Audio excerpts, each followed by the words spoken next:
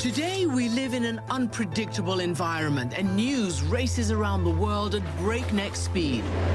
As long as he's here, I'm here. You're talking about President Trump? Yes. My show brings you the latest news and top news makers. What would you like the American people to know? And we also dive below the headlines to explore vital issues impacting our lives. I mean, you can't argue with that, right?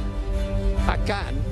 Your administration didn't do it. Big mistake, right? I think it was a, a, big mistake. You're right in the middle of the Me Too moment. Do you think things are getting better? Do you fancy singing a few bars now? It's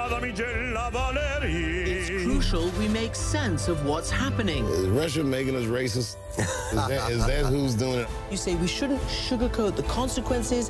This is surveillance. That's pretty controversial. Well, it's the truth. And fully understand what's at stake. Amanpour, tonight on CNN.